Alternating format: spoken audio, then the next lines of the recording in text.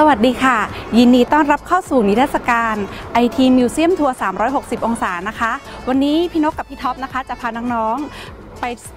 เยี่ยมชมนิทรรศการที่จะปลุกจินตนาการและความคิดสร้างสรรค์นะคะ กับนิทรรศการ Lego Coding Space นะคะใน Lego Coding Space นี้จะมีอยู่ 4 โซนการจัดแสดงด้วยกันค่ะ ถ้าน้องๆพร้อมแล้วนะคะ ตามพี่นกเข้ามาเลยค่ะ นิดนึงก่อนเล่นนะคะ เราจะต้องทำความสะอาดมือของเราก่อนนะคะ ก่อนเข้านิทรรศการนะคะอ่าเมื่อเราทำความสะอาดมือของเราเรียบร้อยแล้วนะคะ สิ่งที่น้องจะได้เจออันแรกนะคะ บ่อแรกเลยก็คือตัวไวท์บริกสีขาวนะคะ หรือว่าตัวต่อเลโก้สีขาวของเรานี้ที่จะรอน้องๆอยู่นะคะ ที่จะเสริมสร้างจินตนาการให้กับน้องๆในการสร้างโครงสร้างเมือง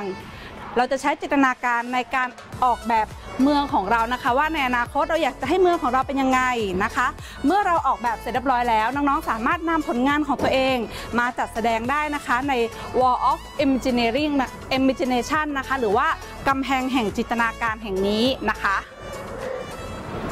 เมื่อเราใช้จินตนาการของเราในการออกแบบเมืองแล้วนะคะ ดรเฮเลนแชม แชร์แมนนะคะได้กล่าวเอาไว้ว่า ความคิดสร้างสรรค์ของเรานะคะ จะถูกจุดประกายขึ้นจากความสงสัยและจินตนาการนำไปสู่การพัฒนาผ่านการเล่นและการทดลองนะคะ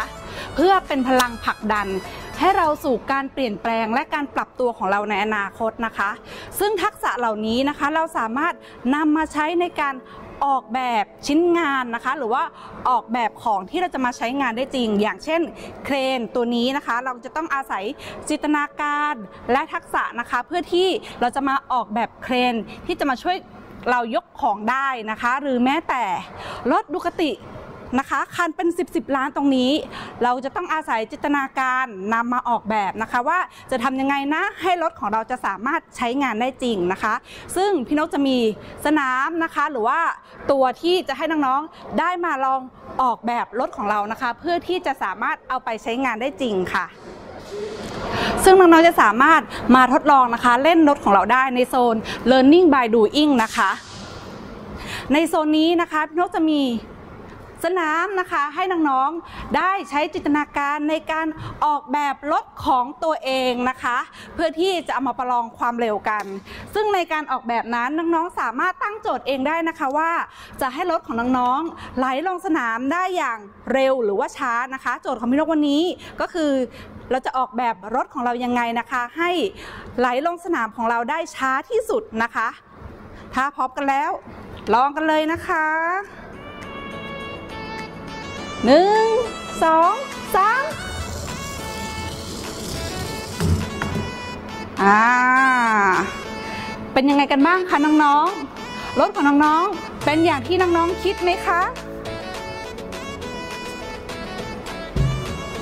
ถ้ายังเดี๋ยวเราจะมาลองทดสอบกันอีกครั้งนึงนะคะว่า รถคันไหนจะไหลลงมาจากสนามช้าที่สุดนะคะ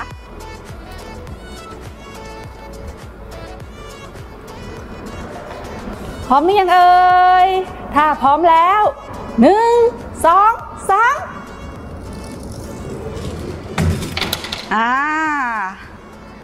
เป็นยังไงกันบ้างล่ะคะน้องๆ จากรถของเราที่เราได้ลองออกแบบจากจินตนาการนะคะ ซึ่งการที่เราออกแบบและได้ทดลองแบบนี้นะคะ เราก็จะมีสนามนะคะ ให้น้องๆได้ฝึกฝนทักษะ การใช้ความคิดจินตนาการ และการออกแบบแบบนี้นะคะ ทั้งระดับในและต่างประเทศนะคะ ไปกับโซน Challenge the Mission นะคะ ซึ่งในโซนนี้น้องๆจะได้เห็นภาพบรรยากาศในการแข่งขันหุ่นยนต์นะคะ ทั้งในและก็ต่างประเทศนะคะ พร้อมทั้งเรายังมีสนามจำลองนะคะที่น้องๆได้มาทดลองเล่นนะคะว่า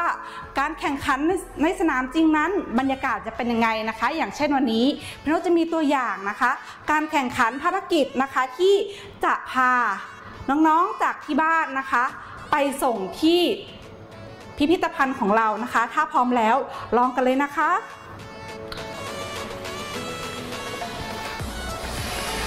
อ่าดูสิคะ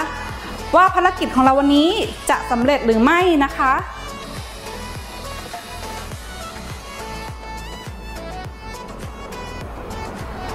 อ่าอันแรกนะคะ ตัวสีเขียวจะไปสู่พิพิธภัณฑ์ของเราได้หรือเปล่าลองดูกันนะคะ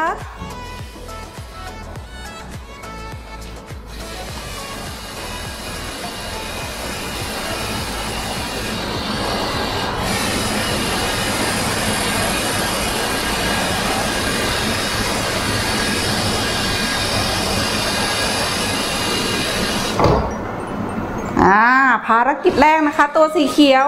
มาเที่ยวพิพิธภัณฑ์สำเร็จแล้วนะคะ ถึงแม้ว่าจะพาไปชมป่าในพิพิธภัณฑ์บ้างก็ตามนะคะ ภารกิจที่สองคนที่สองจะสำเร็จไหมเอ่ยออลุ้นลุ้นลุ้นลุ้นลุ้นลุ้นลุ้นดูท่าจะไม่สำเร็จนะคะ คนไม่ยอมมาด้วยนะคะ อ่า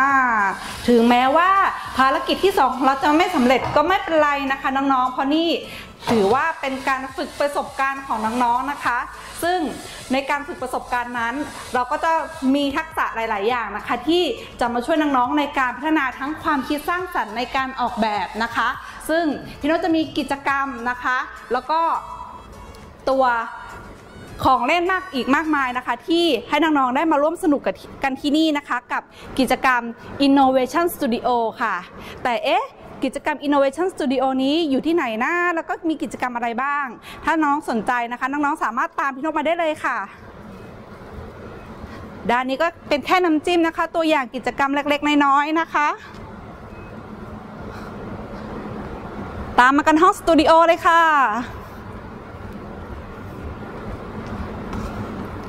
ค่ะ และนี่นะคะก็เป็น Innovation Studio แห่งแรกในประเทศไทยนะคะ ที่จะมาช่วยน้องๆนะคะ ในการฝึกการเป็นนวัตกรที่ดีนะคะ แต่ว่าการเป็นนวัตกรที่ดีนั้น เราจะต้องมีทักษะอะไรบ้างล่ะ มาช่วยเรานะคะในการที่เราจะมา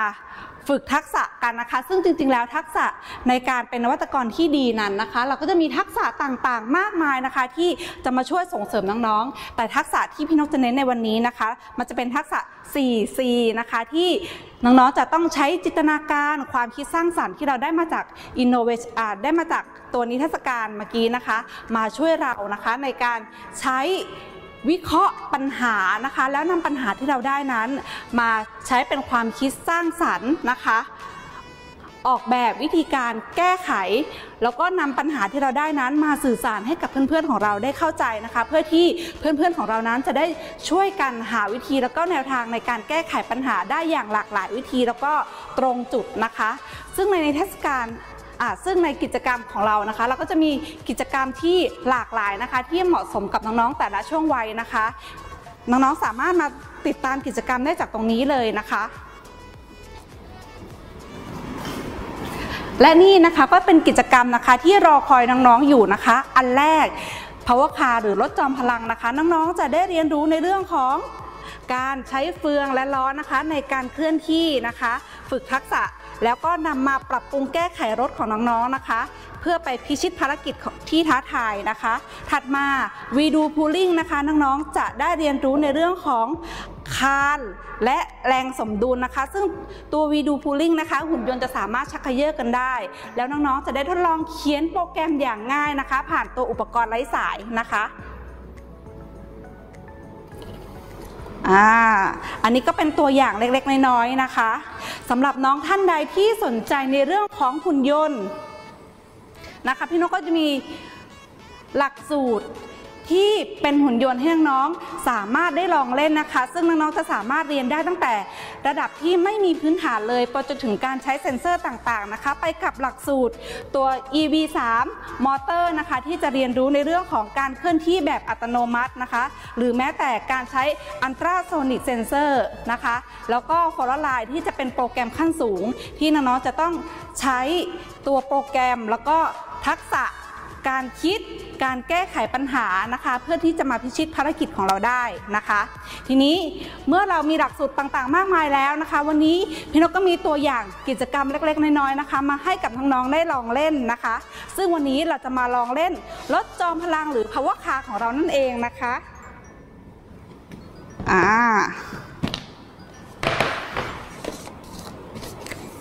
ในตัวกิจกรรมนะคะพี่นกจะมีแบบตัวอย่างแบบนี้ให้กับน้องๆนะคะ ในการตอบเพราะฉะนั้นไม่ยากเลยค่ะ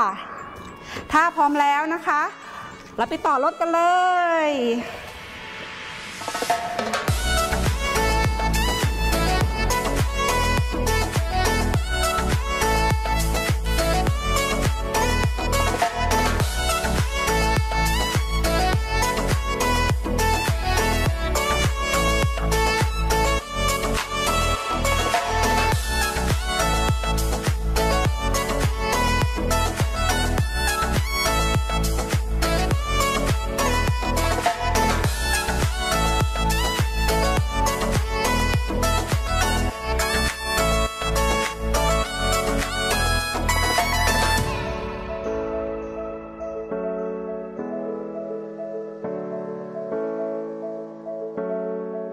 นี่รถของเรารถของเราเสร็จแล้วนะคะ ตอนนี้เราจะเอารถของเราไปทดลองที่สนามกันเลยค่ะ